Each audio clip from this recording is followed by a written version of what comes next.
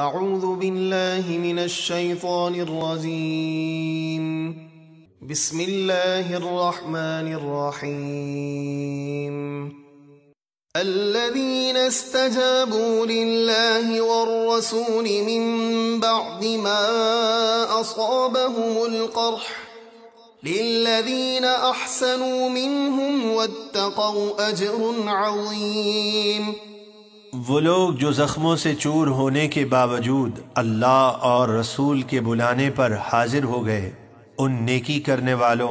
और परहेजगारों के लिए बड़ा सवाब है। अगली आयत में इस चीज़ का बयान है कि जब झूठे प्रोपेगेंडे की वजह से जिहाद से रोकने की कोशिश की गई तो महबूब सल्लल्लाहु अलैहि वसल्लम ने किस हसीन अंदाज से तरबियत फरमाई चुनाचे हुजूर वसलाम ने फरमाया खुदा की कसम मैं ज़रूर जाऊंगा चाहे मेरे साथ कोई भी न हो इस कलाम ने ईमान वालों का हौसला बुलंद कर दिया ईमान पर मजबूत हो गए चुनाचे इरशाद रब्बानी है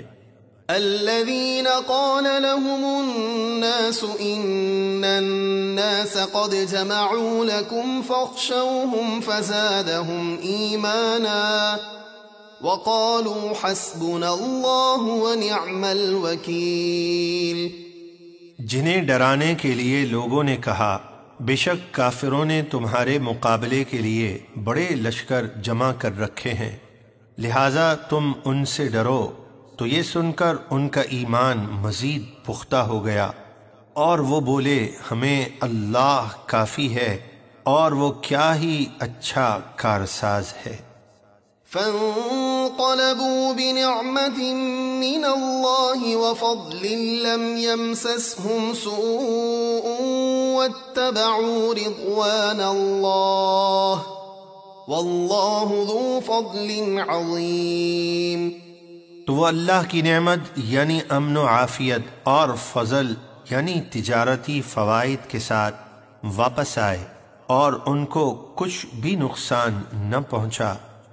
और वो अल्लाह की मर्जी पर चले और अल्लाह बड़े फजल वाला है इन्नमा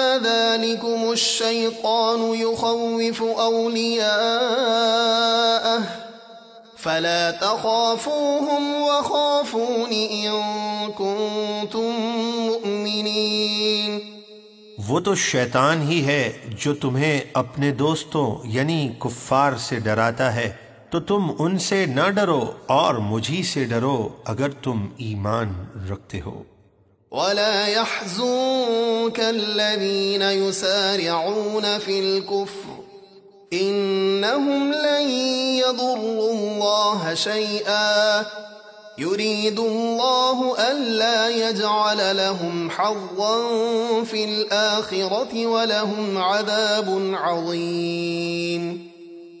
और ए महबूब, आप उन लोगों का कुछ गम न करें जो कुफ्र में दौड़ते हैं, यानी इस्लाम और आपके खिलाफ साजिशें करते हैं। बेशक वो अल्लाह को कुछ भी नुकसान नहीं पहुँचा सकते। अल्लाह चाहता है कि आखरत, यानी जन्नत में, उनका कोई हिस्सा न रखे और उनके लिए बड़ा अजाब है।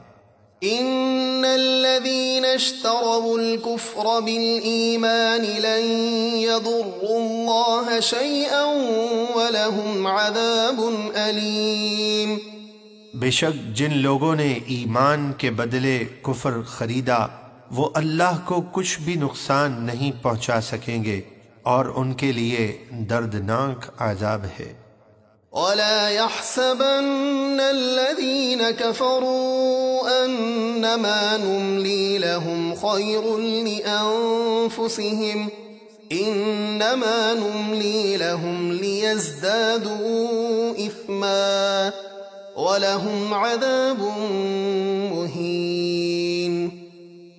और काफिर हरगिज इस गुमान में न रहे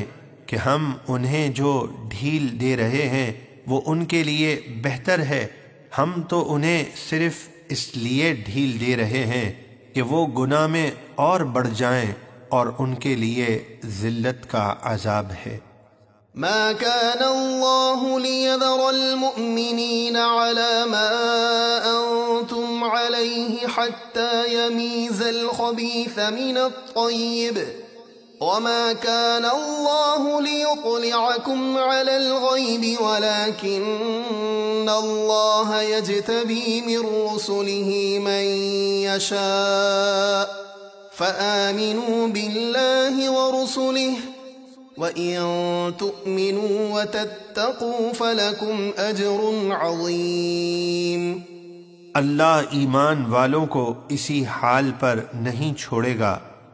जिस पर तुम अभी हो। यानी मुसलमानों पर मुनाफिकों का निफाक छुपा न रहेगा। यहाँ तक कि अल्लाह नापाक को पाक से जुदा कर देगा। यानी मुनाफिक को मोमिन से अलग कर देगा। और अल्लाह की ये शान नहीं कि, ए आम लोगों, तुम्हें गैब का इल्म दे दे। हाँ अल्लाह अपने रसूलों में से जिसे चाहता है इल्म गैब अता करने के लिए चुन लेता है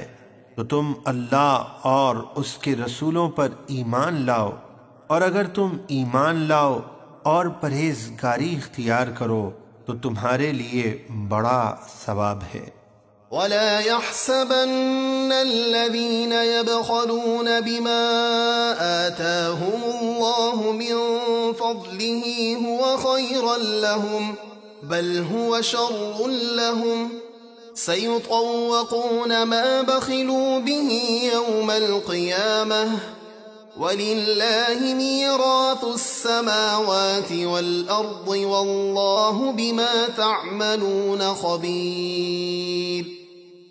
और जो लोग बुखल करते हैं उस चीज़ में जो अल्लाह ने उन्हें अपने फजल से दी वो हरगिज़ ये गुमान न करें कि बुखल उनके लिए बेहतर है,